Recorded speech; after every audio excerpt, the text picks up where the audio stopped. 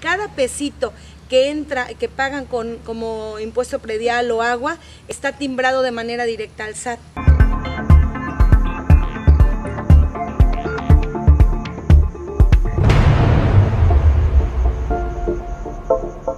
Continuamos con esta serie de entrevistas que le realizamos a la licenciada Erika Zaplara, presidenta municipal de Orizatlán. Vamos a hablar ahora del tema de infraestructura. Lleva nueve meses, lo decía yo, son nueve meses, todavía no llevan un año. Han enfrentado muchísimas cosas, eh, sobre todo el recorte presupuestal a nivel federal. ¿Cómo se enfrenta Orizatlán, presidenta, contra esto? Mira, los recortes han sido muy graves, este, fuertes en, en, recursos. No ha habido en este momento, no tenemos ninguna sola obra pública eh, federal, pero ha habido recortes en gasto general importantes. Sin embargo, yo quiero decirte que no nos hemos quedado en el hecho de estar lamentando, es que me quitaron esto, me, me, descontaron lo otro, quitaron este fondo.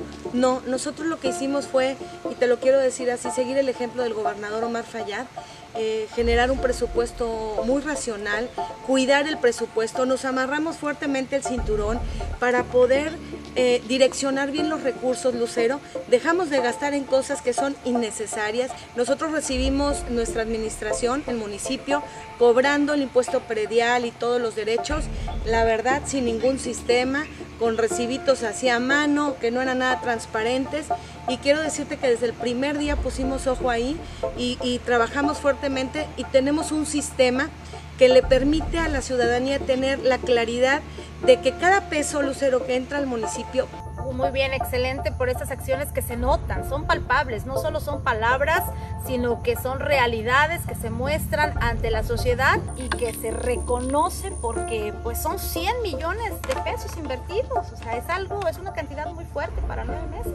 Bueno, son casi 100 millones, en, obra pública pues nos llegan 96 millones de pesos, pero hemos hecho obra pública también con el recurso propio y con otros fondos, normalmente no se hace, pero hemos estado atendiendo este, algunas rehabilitaciones de drenajes, algunas rehabilitaciones de sistemas de agua potable. Trabajamos, fíjate que fuertemente, nosotros recibimos, Lucero, el, el, el municipio sin clorar.